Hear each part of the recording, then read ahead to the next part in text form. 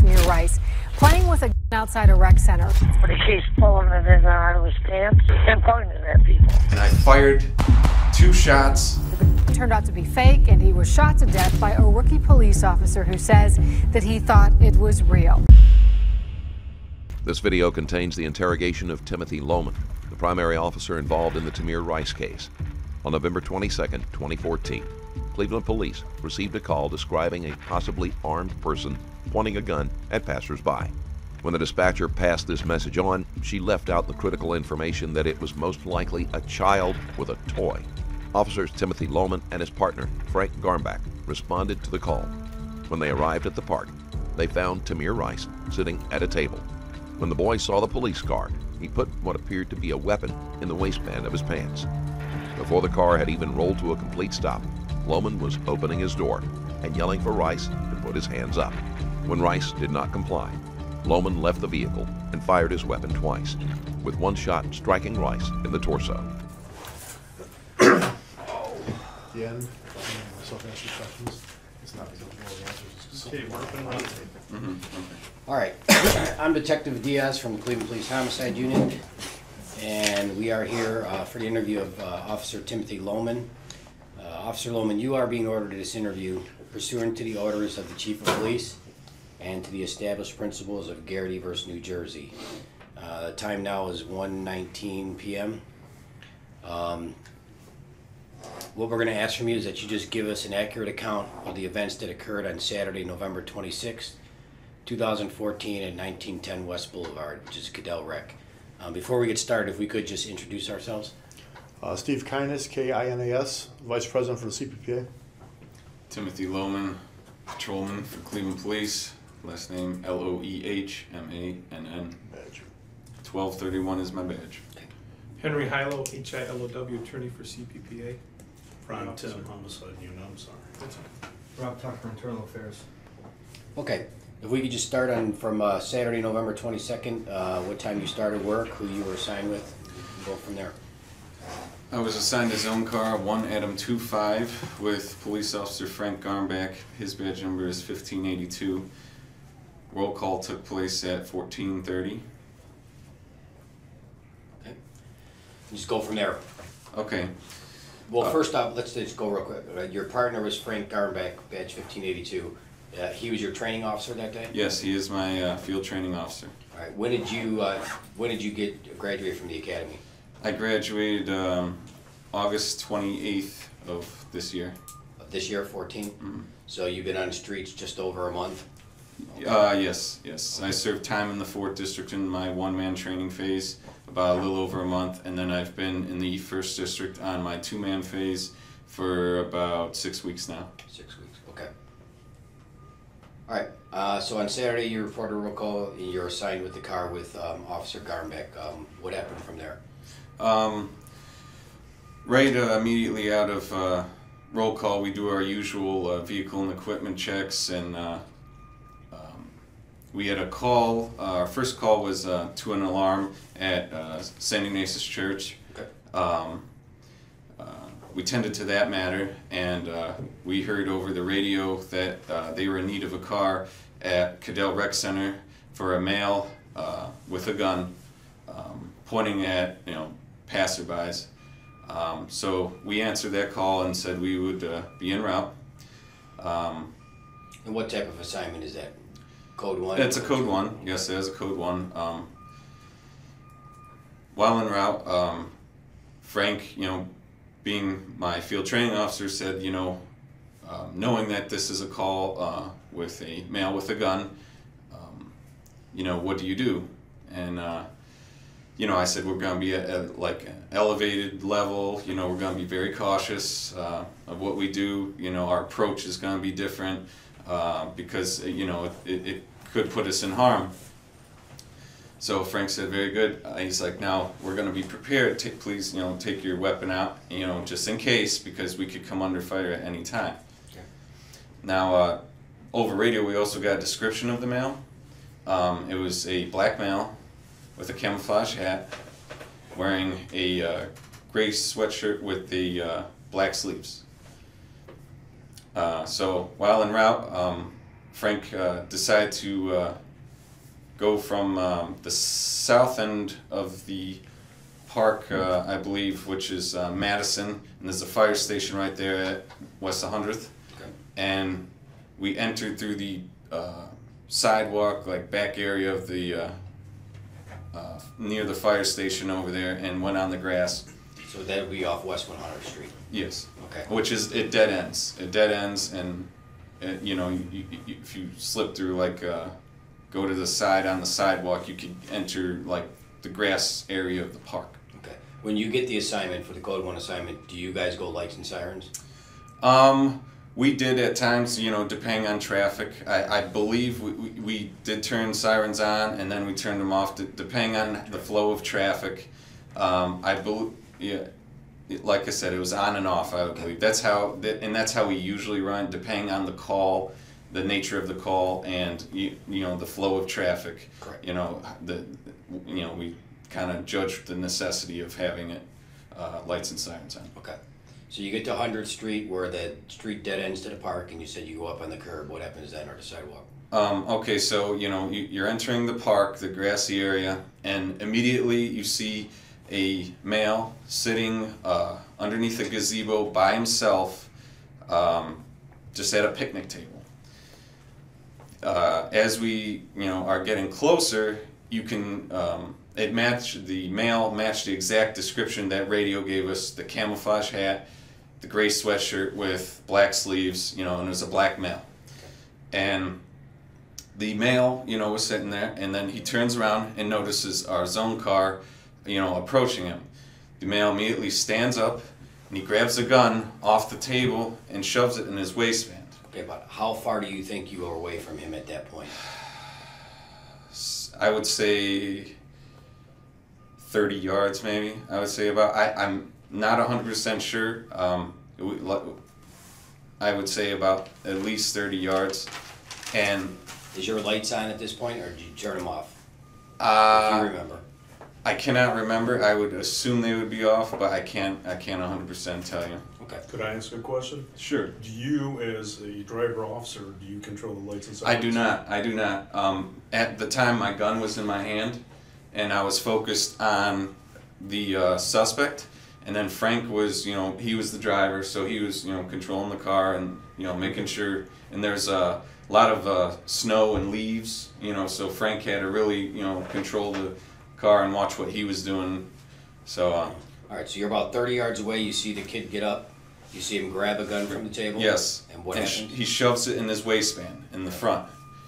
Um, then immediately upon that, you know, I, I at that point I knew he had a gun, so I opened the door slightly ajar and I had presented my weapon and I started screaming verbal commands. Put your hands in the air. Put your hands in the air. Let me see your hands. Freeze. Put your hands in the air. I said numerous times out loud, and I presented my gun There is some question why, if he could see the weapon, Loehmann couldn't tell that Rice was a child.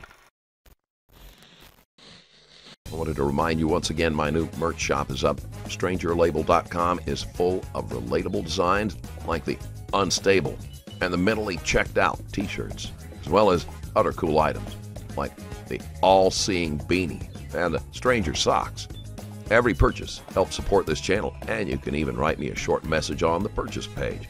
I'll be reading every single message that comes with any order, big or small. So head to strangerlabel.com and get whatever you want. And with that said, let's get back into the case. you know, through the window. So you know, Is your he- window down? It it was closed, I believe, not 100%. I believe it was closed. But I had the door slightly ajar open and I was, you know, making sure my gun could be seen by uh, the male so he knew that, you know, this was not a joke, that we were serious, you know. And as we approached uh, closer, the male began to walk away and it, it appeared like he was going to take off running. Um, the male then uh, Did your partner say anything to you when you guys observed that? he, he did not he did not say anything. Because I, was screaming the verbal commands put your hands up let me see your hands freeze. Uh, my partner didn't say anything. He was uh, focused on controlling the car. Like I said it, it was uh, snow and grass and leaves so he he was maneuvering the car. And, um, you know, as we got closer, the male turned around, and that's when my partner attempted to stop. But I, I, I believe we did slide. Um I, I, I uh, there were like roots in the grass, I believe, you know, from us trying to stop. So when we finally uh, like slowed down enough, I opened, pushed the door open, and had my gun uh, presented in one my right hand like this, and I was still screaming verbal commands. Let me see your hands, freeze, you know, you know, freeze, put your hands up, let me see your hands, and the the subject, you know, like I said, be, like as we were coming almost to a complete stop, the subject was already facing our zone car. So he turns to you. He, he turns to us as I'm like we're almost at a stop. I would say a near stop.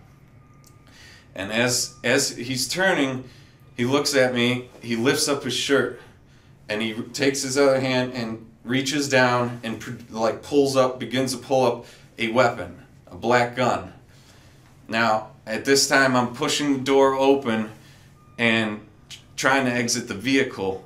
Now, the vehicle could have still been moving at a very slow speed because I, I believe we were sliding a little bit because of the debris, and the subject, you know, had the gun like like so, like you know, in, in like the abdomen area, almost raised, and I fired two shots, and then I uh, attempted to take cover and move, and in the process of taking cover, I uh, believe I uh, twisted my ankle and slipped and fell, and I was on the ground. But when I uh, returned uh, upward, you know, I was leaning on the cruiser because my leg hurt. I was at the back of the cruiser, the rear end, but I couldn't stand because I had injured my ankle. And then my partner, I and what I see when I stand back up is the black male was down. My partner had his gun drawn and he was shouting verbal commands, "Let me see your hands, let me see your hands." Now the male wasn't complying right away with his hands. He was still moving them. Where Uh, is he at at this point? he was on the ground, laying on the ground, on the uh, cement portion of the gazebo, by you know in the picnic t- table area, and you know once I got up, I began you know yelling commands again. Let me see your hands, because like I said, he was still moving his hands, and then once the you know the uh, male decided to you know stop moving, my partner approached and kicked um, what looked like a um, 1911 uh, model pistol, a handgun, black handgun, and uh, then I then we um, approached and uh, observed um, the male. He pulled up his shirt, you know, to show that the gun was removed.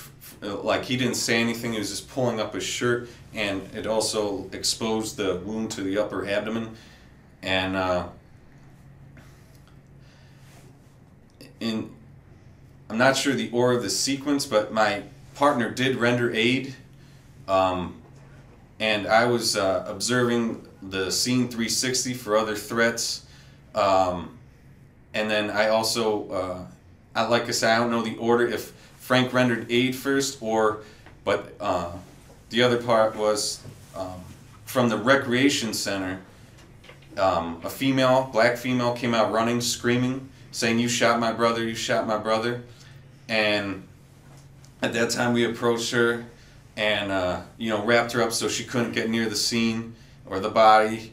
Uh, um, and When you uh, say wrapped her up, like like just put our arms around her so she couldn't you know get any closer. Rice's sister was only 13.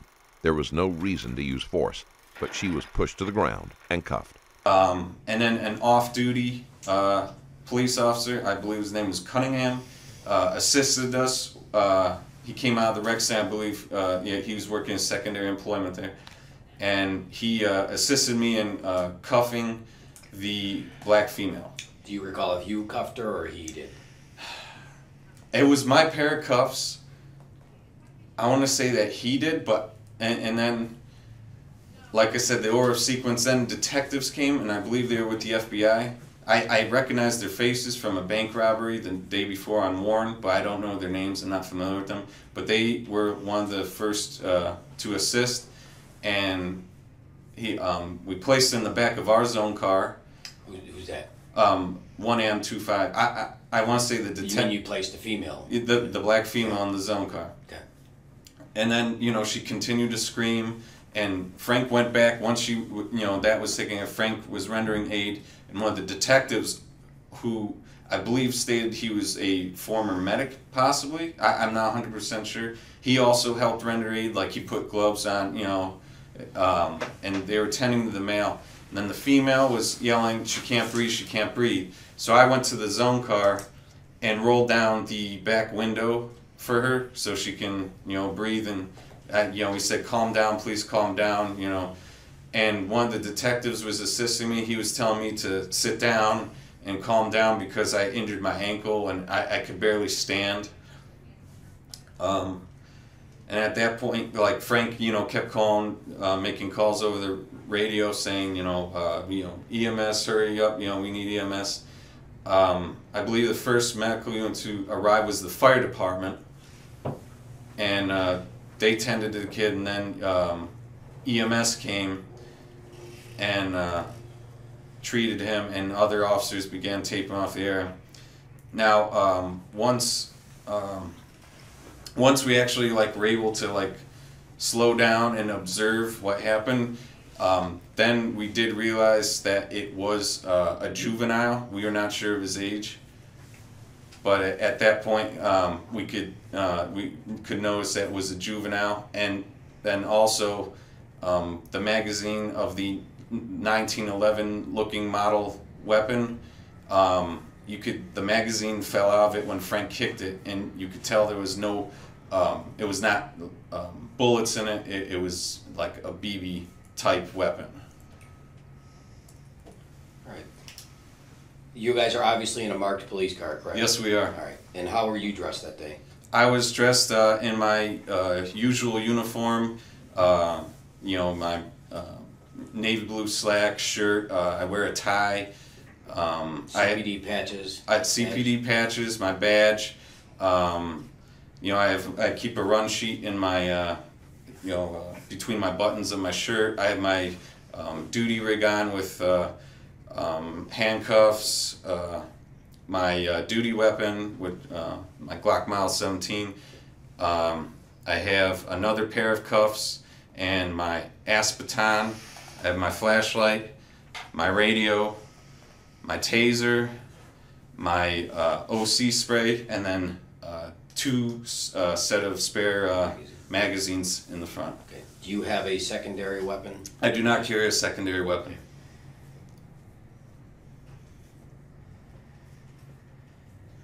All right. When you did fire your weapon, you said you fired how many times? I fired twice. Times. Fired twice, and then um, as our, per our training, um, sh- we're not supposed to uh, stand still. We're supposed to move. So fired twice, and then, you know, tried to get some kind of cover, which I tried to behind the cruiser. Uh, you know, as a like a almost like a point of retreat, which we, we're also trained like retreating areas, like using the cruiser as you know some type of concealment or cover.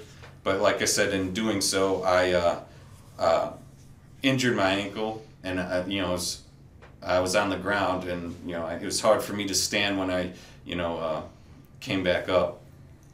And uh, you know, also we were taught in the academy, you know, it said that you know your cruiser is your coffin. So you know, my my uh, I wanted to get out of the cruiser as fast as possible, you know, because the uh, male presenting a weapon was an immediate threat to myself and my partner. So um, Loehmann is going into far too much detail and using very clinical language.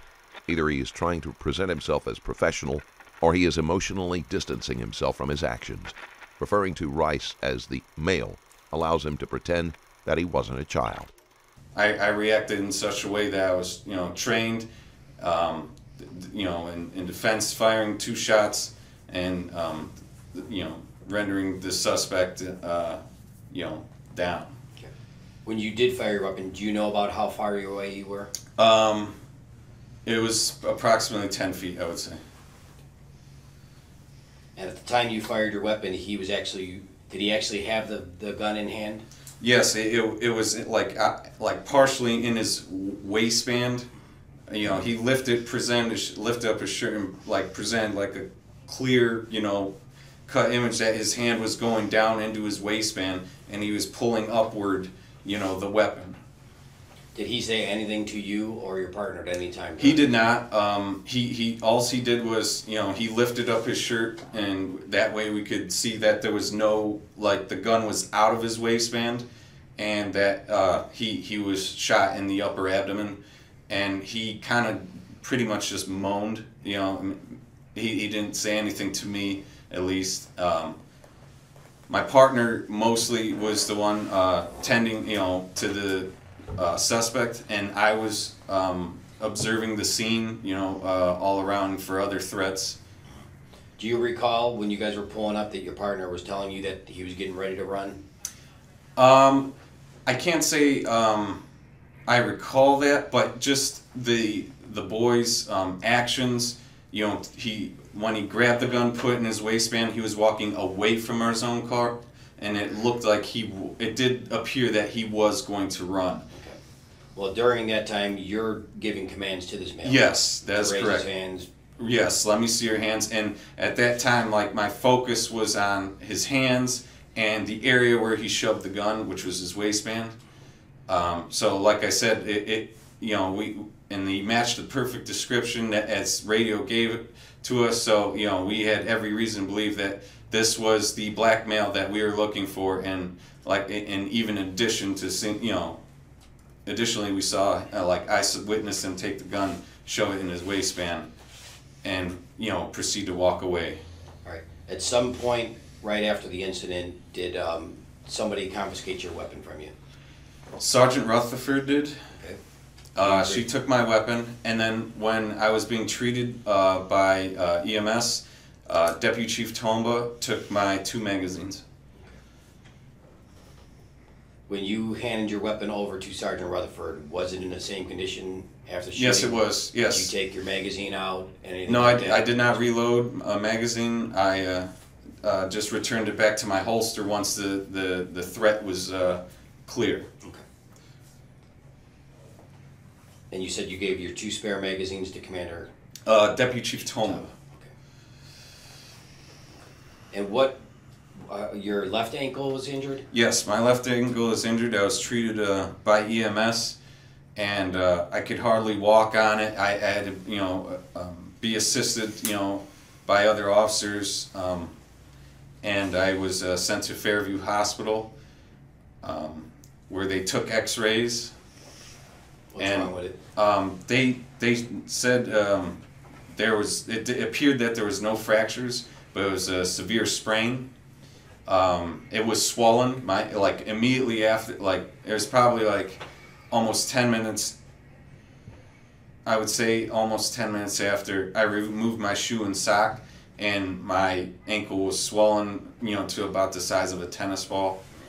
Somebody did come out and photograph you that night. Uh, y- yes, uh, they did. Uh, at the hospital, they photographed my ankle, and uh, now the current state of my ankle is it's really bruised now. It, it, it almost looks like I'm wearing a black sock. Uh, the swelling has gone down now, but my, my the bruising is is worse. Any other injuries? No, that was the only injury was my left ankle. Did you have any exposure to blood? Um, no, sir.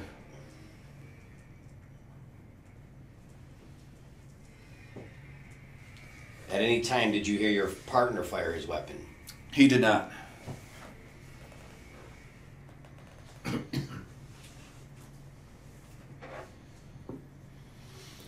Time of day does this take place?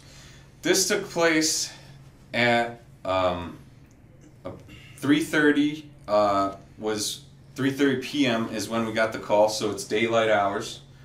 Um, we arrived shortly afterward. It only took us approximately two minutes to get down to that area. Um, What were the conditions outside the day? um, it was, um, I would say, partly cloudy, um, but daylight. So uh, that's how you could view the weapon so well and the subject, and you know, uh, the, you know. It had snowed the night description. before. Yes, so there was snow on the ground, and uh, The weather conditions are important. since much of Loehmann's testimony revolves around Rice's visibility and what Lohman could reasonably see. We were in a park with trees, so there was leaves on the ground and grass. So, like I said, it was difficult probably for Frank to maneuver the zone car, and also, like I said, um, for my for me trying to uh, you know get out of the line of fire. You know, if if the uh, black male did you know return fire, you know, I slipped and twisted my ankle and fell. You know, because of the conditions. When you did fire your weapon, were you actually outside the vehicle?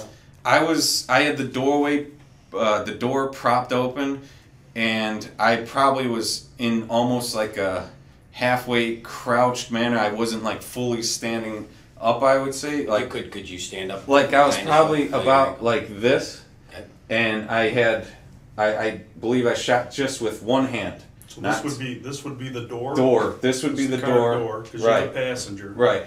Right. I am the passenger. This is the car, the seat that you would have been in? Yes. And you're out of the door now? Yeah, I'm I'm like in the doorway, you know, and the subject's about, you know, right right where he is, but a little bit farther. And I fired two shots, and then, like I said, I tried to go to the rear of the zone car for cover. So I, I probably, you know, I was not standing fully up and like full presentation like this. I was, you know, I it, it was that quick where the black male turned, lifted up his shirt, grabbed, you know, reached in his waistband, pulled up the weapon, and that's, you know, at that time I was probably about like this, and that's when I had to fire two shots and attempt to gain cover. Let me, let me, while you're still up, Sure. when, when, relax for a second. Okay. Uh, When, when you see him at the, at the picnic table, Mhm. okay, you made motions before with, with the gun being down and with his right hand, he took something off the table. Yes, which you- the gun. Was the gun. Yes. Okay. And then he, when he puts it back in his waistband, Waistband. said, is he standing at that point? Yeah, he, he is standing. He he stood first, I believe, to create room to place it in his waistband, I believe, and then he proceeded to walk away, like he was still under the gazebo, Okay. walking away. Which by would the be towards north? towards towards yes, towards the uh, the recreation center. Okay. And at that point, what do you think's happening? I like it. And we, I thought that he was going to take off, and I believe my partner thought the same thing. When you say That's take off, what do you mean? like running, like he was going to run. Okay. um, and you know try to elude us. Um, and that's why, like our cruiser, we continued, you know, to approach the male because his back was turned to us, and it, it you know, he took a few. He was walking away from the cruiser towards the rec center. So uh, it, it did seem like he was going to, you know, you know, run from us, run away. Okay. Did you make a comment at all? Do you, do you say he's gonna go, he's gonna run? No, I, I believe like there was no communication between Frank and I because I was yelling the whole time. Let me see your hands. But there was communication with you prior to you coming down 100th street. Yes, yeah, that was discussed how we were going to approach the scene. That was en route, like before we hit the park. Okay, so now you're back at the, you're coming through the park, Mm-hmm. he stood up, he put the gun, which he showed us in his waistband. Yes, in Great room, yeah. and you think he's going northbound, Yes, towards the rec center. alright, and then at that point, he turns back to come westbound? Turns Uh, he, he, he, yes, he faces like to probably check to see where we were. Mhm. Um, you know, and he turned and faced our zone car, like you said, westbound, and that's when he began, you know, like when he saw that we were like behind him, like you know, approaching him, that we, you know, he that's when he pulled up his shirt and Let me reached. stop you there. Okay. Uh, you made a comment before that, uh, you, you went through some ruts or something like that, what, Oh, l- oh, like um, I was saying that, like saying that we, like it. I'm not 100 percent sure, but I believe we did slide a bit. I believe Frank tried to stop did you the feel car. the car pulsating? No, I did not. I was focused on the subject's hands and his waistline because I knew there was, you know, a gun involved. When do you think that you opened up the door and presented your weapon? How far uh, away were you from the guy at that point? Uh, like I said, about 10 feet, because at that time the, the subject had already like turned around and faced our zone car. So you don't open up the door. I if the door's already open, like it's slightly ajar because I opened it to yell commands, like the verbal commands from the start when we I saw him take the gun and put it in his waistband. So all And I had all I had to do was push it open. Okay. And how far away were you at that point where you opened up the door to yell commands? When I in, initially yelled commands, or from when we were when When we were right next. You made a comment that you opened up the door to yell commands when you saw the gun on the table and you started putting it in his waist. Mhm. How far away were you at that point? Um, I would say 20, between 20 and 30 yards at, at, at least. You know, I like could be wrong, but I would say uh, uh, 23. But I, you know, I was screaming in a loud manner so it could be heard. And like I said, I presented my weapon, you know, so it could be seen through the window to know that you know this was an emergency incident and that you know this was not a joke and that you know Okay. that there was a severe threat. For purposes of the video. Yes. You are the passenger officer. I am. You are traveling, which would be northbound. Yes, towards. And so you would have your, your right-handed? Yes, I am right-handed. So your weapon's out, and you would have to reach a little bit across with your body to open up the door? Yeah, to open up the door. At, at that point, I was probably seated. You know, this is like the cruiser car. I was mm-hmm. probably seated like this. Okay. You know, get ready. I was ready. You know, to for. Given the grainy nature of the video, as well as the lack of sound and poor angle, it can't be said for certain exactly what Loehmann was seeing at all times. There has never been any indication that Rice said anything at all, including information about his age or that he was only holding a toy. However, at his age and in that situation, it is completely understandable that he might have been too frightened to speak at all. You know, any type of action, like if he took off running, you know, to you know, you know, get out of the cruiser, or if or if he did turn around and fire, that I would be ready to react to that. Okay. You know, so I, I was you know preparing myself. You know, as you know, Frank as my training officer, he told me to be prepared for anything, and the the the elevation, you know, the the, le- the level that we were at, you know, it it got higher and higher and higher just because you know first you see him, you know, the male matching description, but then you see the gun, and then now he's you know walking away, and now you know he's presenting the gun, you know, it, it, he's pulling out his waistband, so your your levels were getting higher and higher and higher, uh, and, and the threat just became incredible.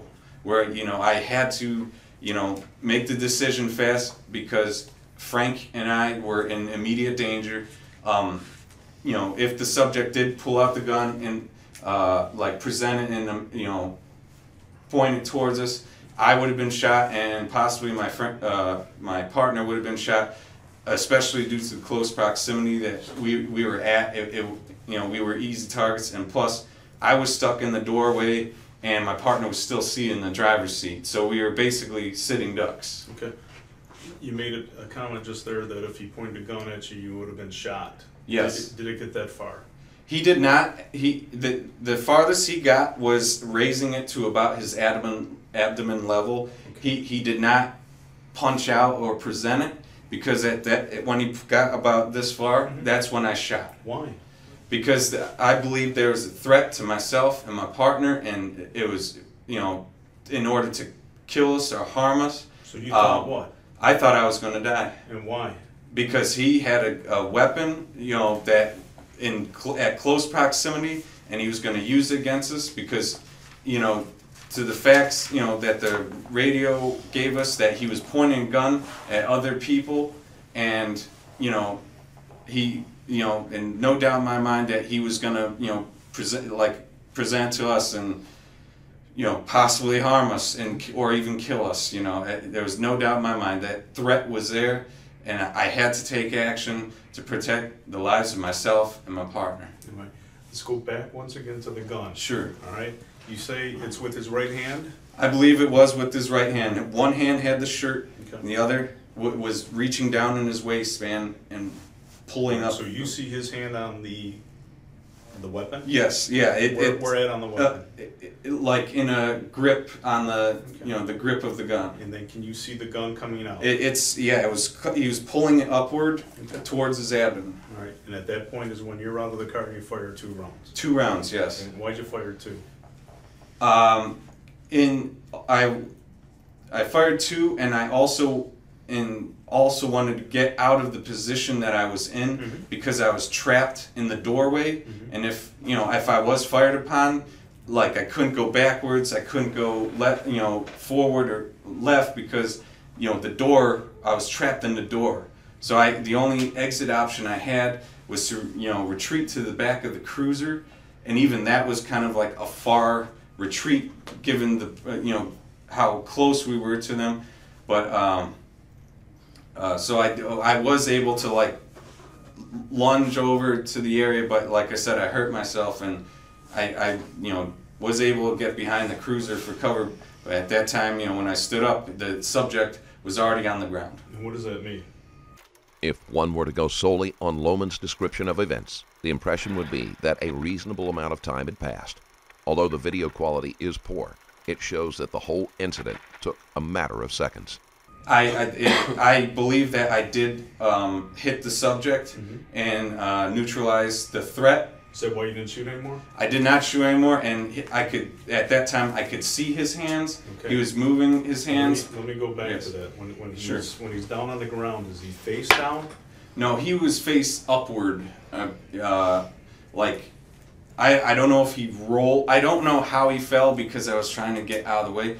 But when I stood up, he was face upward and rolling, you know, motioning and, you know, moving his hands. Okay. And the, the threat was still there at the time, even though he was on the ground, because we, we didn't know, like, But you didn't see, did you see a gun at that point? at that point, I, I did not have a good view. My partner, um, But you were able to see his hand. I was able to see his hands, so I did not fire again. Why didn't you fire again? because there was no gun in his hand. There was no weapon in his hand at the time.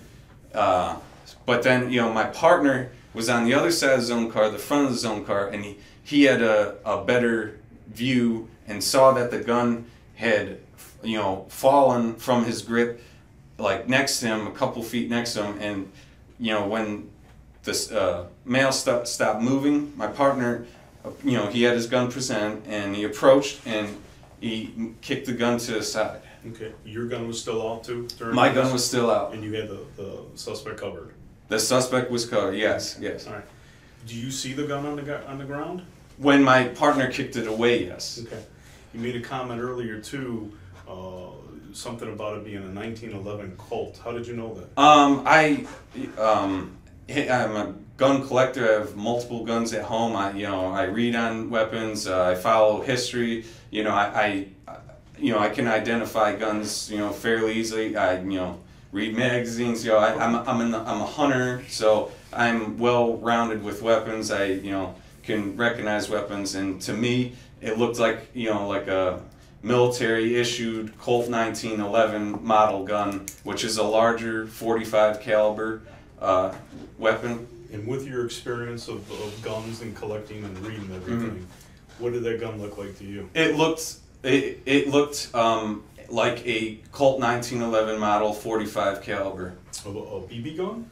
No, it did not look like a BB gun. It was a gun. It, it was mind. yes, it was a gun. Okay. The, the at the the time I noticed that it was a BB gun is when Frank kicked it over and the magazine fell out. And when I did move myself from the back of his own car to approach, you know, the victim and where the gun was, then I noticed um, the magazine did not contain 45 caliber rounds. It, it, it uh, appeared that it would be more suitable to contain uh, like BBs. Okay. Uh, at any point, did you have any contact with the suspect? Did you put your hands on him? You cuff him? I did not. I did not put any hands on the suspect. Um, my partner did. Um, he, he was the one that tended the suspect. Like I said, I was I was um, the one making sure the scene was safe 360 because there could have been possible other threats coming from the uh, rec center. Which my the first person I saw was the black female that was running towards us, and that's when I had to uh, act and restrain her. Okay. Did you uh, handcuff uh, the person you shot? I did not handcuff. Was do you know if he was ever handcuffed? I would. I think he was not. Um, he yeah. He was not. He was still moving his hands. He was not cuffed, and um, the gun was away. So it, I believe it was uh, safe enough where we could treat, uh, tend to the the, the subject to his uh, Okay. Do you recall seeing anyone else out there with him when you were pulling up? No, he was sitting by himself. Do you recall He- seeing anyone else in the park? There was not any, not anyone else around in the park. It was just him at the gazebo sitting by himself on the picnic table. There was no one else, you know, in the vicinity at all. And it, it took about, it was probably about two minutes later um, when I saw the black female running from the rec center, and then there was like approximately three males standing by the rec center door, and then another police officer came out, out of the rec center and assisted with the um, black female that was running on scene.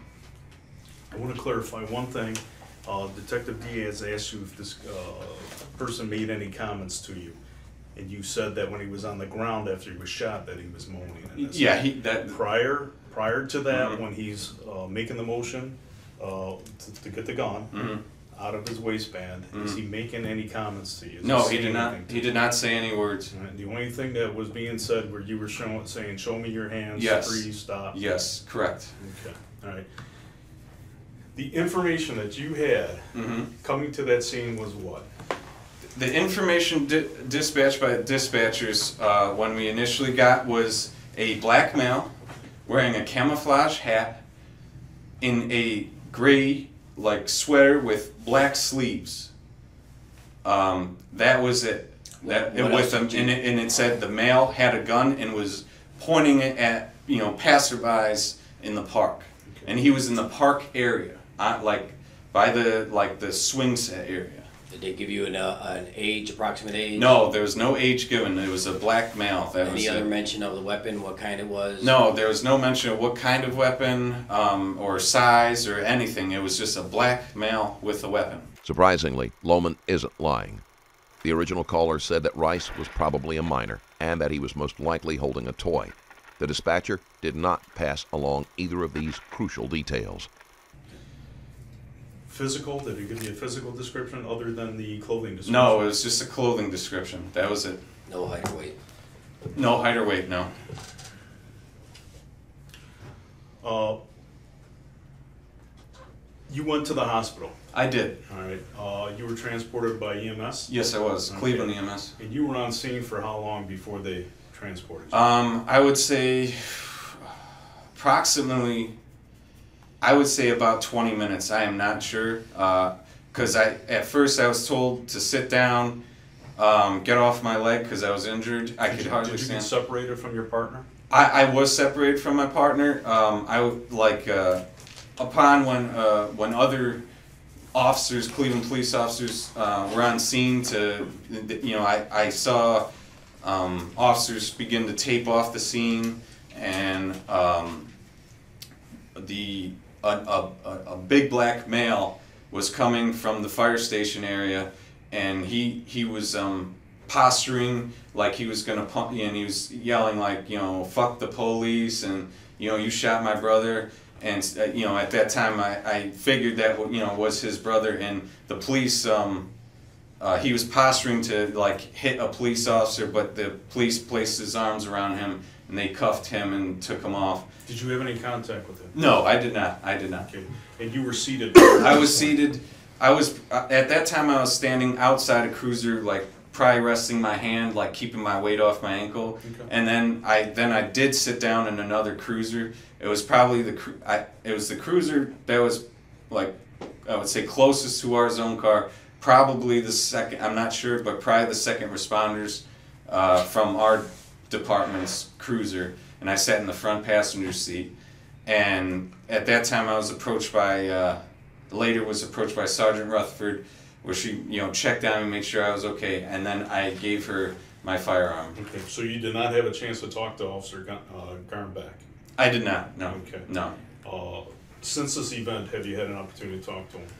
Um, when we returned to the district, um, I, Officer Garmback and I were separated for hours because I was being treated at the hospital let me- East On that point, you- you said you were at the scene for a good twenty minutes? I would say at least 20 minutes. Okay, and then you were transported to what hospital? Uh, Fairview Hospital. And I was in the back of the ambulance for a long time, and that's when um, uh, other members of the police department came to talk to me. Um, de- that's when Deputy Chief Tomba took my two magazines along. I believe he was with um, Commander McCartney.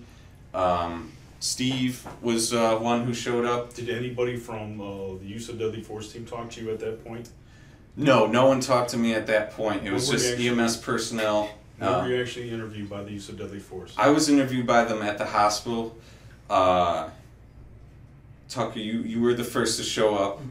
Um, then uh, Andre Cisco showed up from uh, um, uh, the Employee? Assistance Unit, and um, Jeff Fulmer showed up. Um, and then Detective Diaz showed up, and that's when we uh, we had a discussion of the events that took Okay. place. All right. Had you talked to your partner prior to that? Uh, I did not. Okay. So when you, I interviewed you, you hadn't talked to? I had not. partner? No, he was still on scene, and I was being treated at the hospital. The only officer that was with me was Luke Kitko, who who assisted me in walking, and you know was presiding over me because I did not have my weapon at the time, um, and he Luke Kitko presided over me, and he did very At what point job. did you get your secondary weapon today? Was it replaced? Um, in the hosp- in the hospital, uh, hours later, uh, one of the detectives from the hospital or the homicide unit um, returned. I, I don't know his name. I see him here today, but uh, he returned uh, me a duty weapon and my magazines. Okay. Uh, what ankle did you injure? I injured my left ankle. Okay, when you left the hospital that night, uh, were you able to walk on your own, or did you? Uh. I was not. I they um, they gave me Motrin, a prescription for Percocet. They wrapped my ankle and they gave me a uh, air cast and a, a set of crutches. So I uh, was using the crutches, and um, also Officer Kitko, you know, assisted me with, uh, you know, getting in the cruiser and you know, Can you give me uh, about how long you were at the hospital? at, I would say at least two hours. Okay. Uh, were you able to come back to the scene and assist us with a walkthrough? I was not able to come back to see my ankle was, um, you know, injured to the point where I could not stand on my own, and um, I, you know, Loehmann did not interact with anyone else once he fired his two shots. Whether this was a choice or a result of his injury is impossible to say.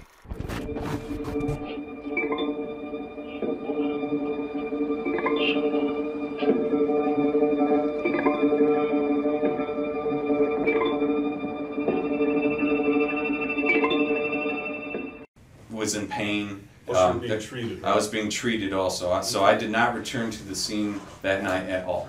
Okay. Uh, based on that, we would like to see if we get a medical release for your medical records for that day for that treatment. Certainly. Okay? Uh, and we'll discuss sure, that. sure. Yeah, all right. We'll discuss that. Uh,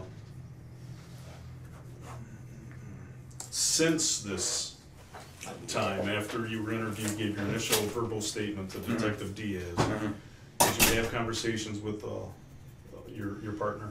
Um, the only um, conversation that I've had with my partner was after I was released from the hospital, and after he left the scene, we were reunited. Um, he he picked me up from the hospital and took me to district. Um, we may have briefly talked about um, the incident, but um, mostly we were working on paperwork, um, completing our duty, and I also had like paperwork from the hospital, and uh, you know we had you know report, you know just general paperwork to take. So you didn't rehearse your stories or anything? Um, not n- not really. I I mean we talked probably briefly about it. You know, just making sure we're okay. So what you told Detective Diaz that night, what you told us tonight is what happened? Yes, that's what happened. Okay. Uh, I have one other question. I forgot what I was gonna ask. That's bad. You remember. Oh. You said that uh, you hit the streets uh, out of the police academy, Cleveland Police Academy, on uh, August 28th. Yes, that What was your appointment date to our department? Um, it was March 3rd, 2014. That's when I was appointed to the academy. That was our first day of the academy. And the academy is approximately six months long. And then we are sworn in and um, detailed to a district to continue our training. Okay. Prior to coming uh, to the Cleveland Police Department, do you have any prior experience with law enforcement? Um, I was sworn in by the Independence Police Department, and I attended the Cleveland Heights Police Academy. Um, but I resigned um, in the early stages of my training with the Independence Police Department. So I, my, ex- my, I've been trained, but I would say my experience on the street is uh, almost to none. You know, Is what you've gotten through us? is what Cleveland. is my experience on the street is all through Cleveland. Okay. When did you go through Cleveland Heights Um, Academy? I started the Cleveland Heights Police Academy July 11th of 2012. And when did you resign from them? I resigned from the Independence Police Department December 5th of 2012. And why was that? Uh, personal reasons I resigned for. Okay. Did you know that you were uh, going to get hired by Cleveland at that time? I did not, but I was pursuing um, to go to another department. Um, I, at shortly afterward, I was um, I, I was on lists of other police department and was pursuing to take tests for other police department, Okay. preferably bigger police departments. Okay. Any uh, military? I do not have any military experience. I'm a college graduate. Okay. Where'd you go? I went to Cleveland State University where I obtained my bachelor's degree in criminology and sociology. And I also have a um, associate's degree from Cuyahoga Community College in law enforcement. Uh, I think you went to get the medical release, and we'll ask uh, at this point. I'm sorry, do you have any No, questions? no. We'd like to take a, a formal written statement from him. Waiver written statement, rely on the uh, video. Okay. All right. Uh, any questions? Any None by concerns? me. Steve, any questions? I do not. Uh, Officer Loehmann, is, is there something that we missed, something that we need to know, anything? Um, not at this time. Uh, what I present is uh, the events that happened uh, on that day. Okay. Uh, this is uh, a Garrity form, uh, which we talked about at the beginning. I'm sure uh, Attorney Hilow here talked to you about it, so we'll let you guys sign where you need to. Sorry. So, Sorry. Okay.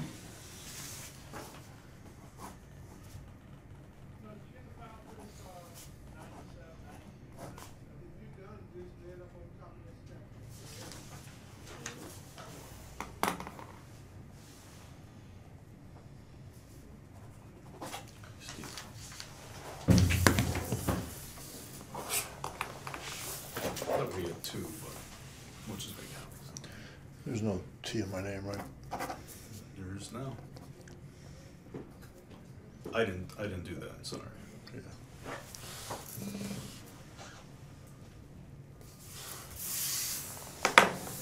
The last one, at least you got your name on it, I didn't.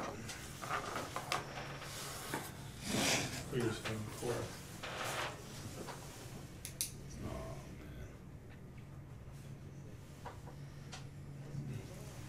Oh, You're like Nostradamus.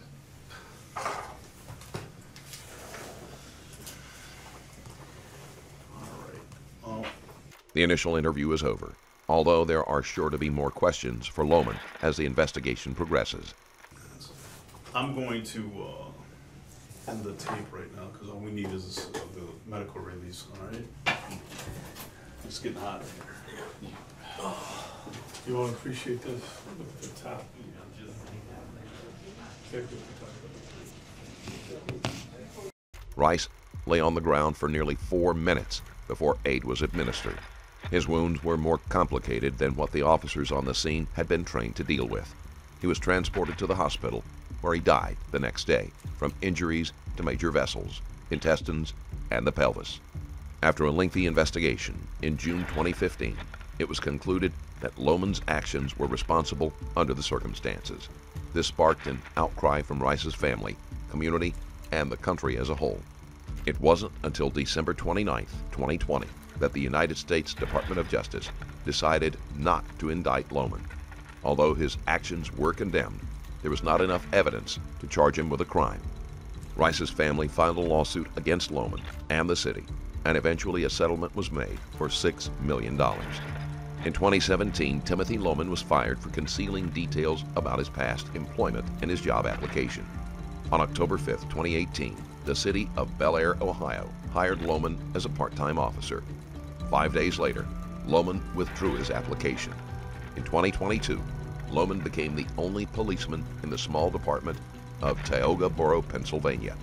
He resigned after less than a week. Hopefully, you enjoyed the video. If you did, there is a Patreon link in the description where you can support the channel further. Thank you for watching. I'll see you in the next one.